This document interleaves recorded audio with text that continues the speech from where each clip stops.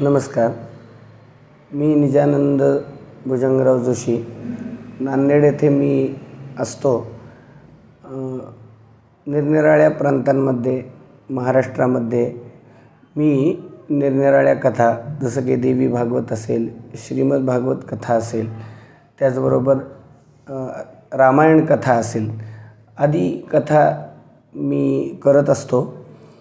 या इंदोर शहरामध्ये नरहरिगुरु वैदिकाश्रम या संस्थेमध्ये अधिक महिन्यामध्ये श्रीमद भागवत कथा सेवेला आल्यानंतर चैत्र मासाच्या ह्या पर्वाच्या निमित्ताने मी सध्या वाल्मिकीय रामायण कथानिरूपणाकरता आलेलो आहे.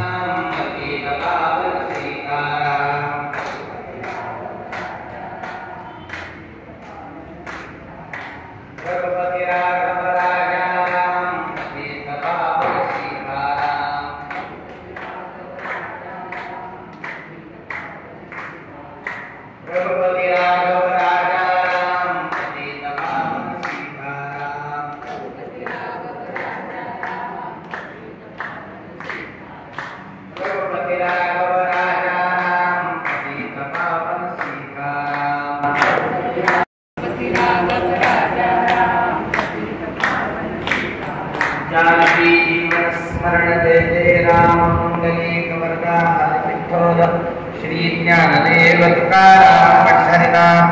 भगवान की जय श्रीमद जगद्गुरु शंकराचार्य महाराज की जय राजा विराज रामचंद्र भगवान की जय महारुद्र हनुमान की जय समर्थ रामदास स्वामी महाराज की जय जय जय रघुवीर समर्थ।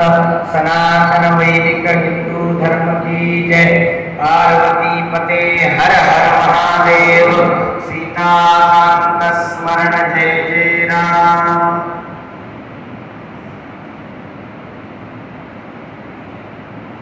चैत्र मासाच्या या पर्वकाळाच्या निमित्ताने रामनवरात्र महोत्सवाच्या निमित्ताने चालू असलेल्या वाल्मिकी रामायण कथेच्या तिसऱ्या दिवशी. हे कथापुष्प प्रभू रामचंद्रांच्या शरणी समर्पित करण्याकरता म्हणून आपण सर्व प्रवृत्त झालेलो आहोत. आजच्या कथेला प्रारंभ करत असताना अगदी थोडक्यात कालच्या कथानिरूपणाचा थोडासा आढावा घेऊ. सध्या नुकतंच तीस तार तीस ते सात ह्या कालावधीमध्ये गोव्यामध्ये मी भविष्य महापुराणाच्या कथेला गेलो होतो. हे भविष्य महापुराण वेदव्यासांनी रचलेलं असून अठरा पुराणांपैकी हे एक पुराण आहे ज्या पुराणामध्ये राजा शतानिक व सुमंत ऋषू ऋषी यांचा संवाद आपल्याला पाहायला मिळतो. व्र अनेक व्रत पर्व उत्सवांचा उल्लेख या पुराणांम ह्या पुराणामध्ये आपल्याला पाहायला मिळतो. तसेच त्या त्या युगातील राजवटींचं वर्णन आपल्याला ह्याच्यामध्ये पाहायला मिळेल. ज्यात कलियुगामध्ये अनेक राजवटींचं झालेल्या होणाऱ्या राजवटींचं वर्णन ह्यात अंतर्भूत आहे. प्रामुख्याने विक्रमराजाचं चरित्र असेल पृथ्वीराज चव्हाण त्याचं चरित्र असेल लहानपणी आपण जे सिंहासन बत्तीशी किंवा विक्रम वेताळच्या कथा आपण लहानपणी ज्या ऐकल्या त्या अनेक कथा ह्या भविष्य महापुराणामध्ये आपल्याला विक्रमराजाच्या पाहायला मिळतात. अतिशय उत्कृष्ट असं हे भविष्य महापुराण आहे. ज्यात कसं राहावं व कसं राहू नये. कसं राहिलं असता मनुष्याच्या जीवनाला धन्यता येते व कसं राहिलं असता मनुष्याला दुर्गती प्राप्त होऊ शकते. या सर्व गोष्टींचा उल्लेख या पुराणामध्ये आपल्याला पाहायला मिळतो.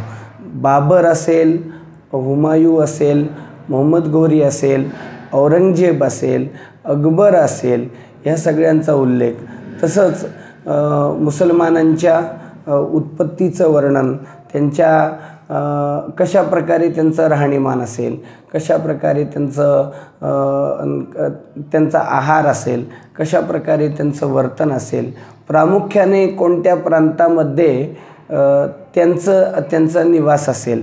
आज मुसलमानांना पवित्र असं जे मक्का नामक स्थान आहे ते स्थान म्हणजे मुळात मरुस्थल नावाचं स्थान आहे. या स्थानाचा उल्लेख ह्या भविष्यपुराणामध्ये भविष्य पुराणामध्ये आपल्याला त्या ठिकाणी पाहायला मिळतो. आणि तसेच या सगळ्यांना अगदी उत्तम प्रतीने या सगळ्या मुसलमान राजवटीला अगदी उत्तम प्रतीने प्रतिकार छत्रपती शिवाजी महाराज यांनी कशा प्रकारे केला हेही आपल्याला ह्या पुराणामध्ये पाहायला मिळतं. तेव्हा हजारो वर्षांपूर्वी द्वापरयुगाच्या प्रारंभाला भविष्यामध्ये कलियुगामध्ये काय होईल आपल्या दृष्टीने भूतकालीन. परंतु ज्यावेळेस ह्या भविष्य महापुराणाची रचना दे झाली त्या काळामध्ये भविष्यकालीन असं हे सगळं वर्णन आपल्याला त्याच्यामध्ये पाहायला मिळेल. अगदी उत्तम असा हा ग्रंथ अवश्यमेव या ग्रंथाचं परिशीलन मनुष्यांनी केलं पाहिजे सर्वांनी केलं पाहिजे. हे जे सगळे ग्रंथ आहेत भागवत असेल रामायण असेल देवी भागवत असेल किंवा अन्य अन्य पुराण असतील हे मनुष्याला प्रगतीपथावरती नेणारे असे हे सगळे ग्रंथ आहेत. या ग्रंथांचं वाचन या ग्रंथांचं श्रवण निश्चितच मनुष्याच्या जीवनाला परिपूर्णता देणारे आहेत. तेव्हा आपल्या उद्धाराकरता या ऐहिक आणि पारमार्थिक कल्याणाकरता या सगळ्या पौराणिक ग्रंथांचं रामायणाचं परिशीलन इतिहासाचं महाभारताचं वाचन श्रवण आणि या ग्रंथांनी सांगितलेल्या मार्गाने अनुगमन करण्याचा प्रयत्न करून सगळ्यांनी आपल्या जीवनाला धन्यता आणण्याचा प्रयत्न करायचा आहे. असं सांगून मी माझ्या वाणीला विराम देतो. ओम स्वस्ती. भजे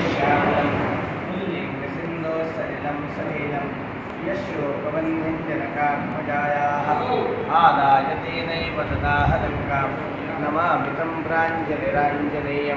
अञ्जनानन्दनं वीरं जानकीशोकनाशनम्। कपीशं रक्षहन्तारं वन्दे लङ्काभयङ्करं कल्याणानां पावनं पावनानां पापे